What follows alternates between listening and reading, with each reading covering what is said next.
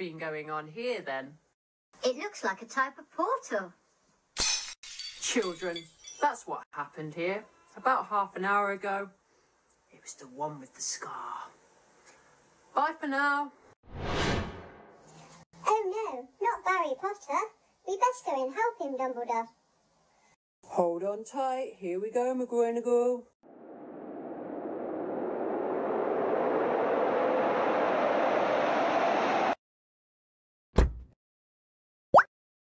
Do you know where we are? Um, of, of course I do. Let, let's try a spell.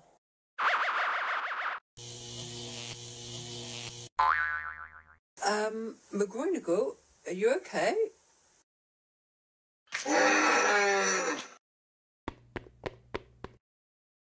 Ah, how much further? I feel like we've been walking for miles.